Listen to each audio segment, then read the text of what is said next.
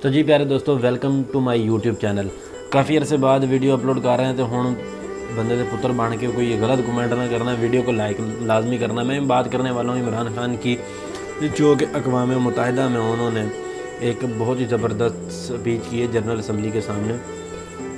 تو انہوں نے کچھ باتیں شیئر کی ہیں جو کہ مجھے بھی پسند آئی ہیں، بہت اچھی باتیں کی ہیں۔ اس کا میں یہاں پر ذکر کرنے والا ہوں۔ اوورال سپیچ کا جو نچوڑ ہے وہ میں آپ لوگوں کو بتانے لگا ہوں کہ انہوں نے کس مقصد کے لیے باتیں کی۔ سب سے پہلے کہ انہوں نے مسلمانوں کو ڈیفینڈ کیا، تمام مسلمان ممالک جو تھے ان کے بارے میں انہوں نے بات چیت کی کہ ہم جتنے بھی مسلم ممالک ہیں، کوئی دہشت گرد نہیں ہیں دہشت گردی کا انہوں نے کہا کہ دہشت گردی کا کہ کسی بھی مذہب سے تعلق نہیں ہے۔ نہ کہ کوئی ہندو دہشت گرد ہے، نہ کوئی مسلمان دہشت گرد ہے۔ نہ کوئی سکھ دہشت گرد ہے مطلب دہشت گردی کا کسی بھی مذہب یا ملک سے کوئی واسطہ نہیں ہے۔ تو صحیح کہہ رہے ہیں، آپ کے سامنے ہیں، پاکستان میں میں رہتا ہوں۔ مجھے پتا ہے کہ کتنی کوشش عمران خان کر رہا ہے کہ پاکستان کو اپر لیول تک لایا جائے اور دنیا کو دکھایا جائے کہ ہم دہشت گرد نہیں ہیں۔ تو بہت سے لوگ ہیں انڈیا والے پاکستان کو دہشت گرد کہتے ہیں، پاکستان والے انڈیا کو دہشت گرد ہیں، کچھ مودی کو دہشت گرد کرتے ہیں۔ تو یہ بات ہے۔ اصل دوسرا جو انہوں نے بات کی، کشمیر کے حوالے سے، کشمیر میں بہت زیادہ مظالم ہونے۔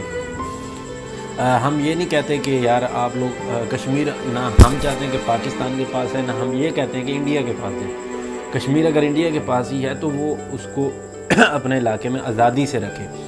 کہ وہ اپنے علاقے میں مطلب اگر وہ رہیں تو مطلب اپنے آزادی سے رہیں، مسلمان ہیں آزادی سے اپنی نماز پڑھیں، اپنے قرآن جو بھی انہوں نے کرنا ہے، اپنے مذہب کے فرائض جو ہیں وہ سر انجام دیں وہاں پر۔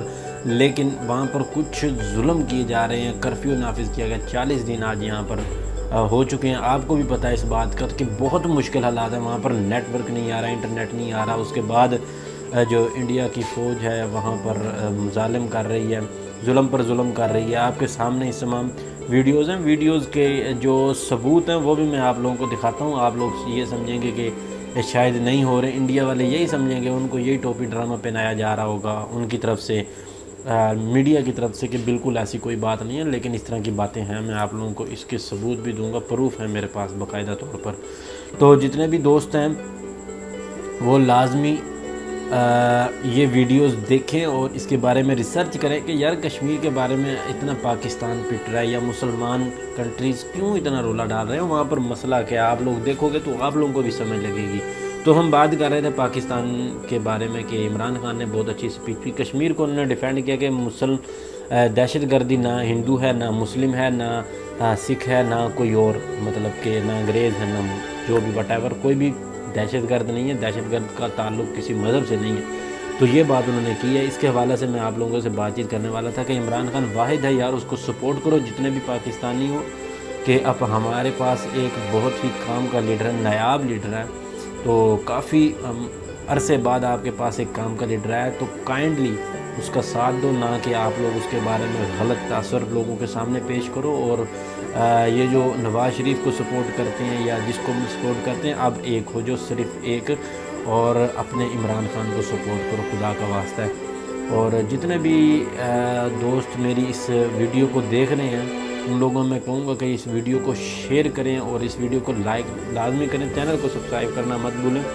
میں انفارمیٹیو کوشش کروں گا مزید ویڈیوز لے کر آتا رہوں، تب تک کے لیے ہمیں اجازت دیجیے السلام علیکم ورحمۃ اللہ۔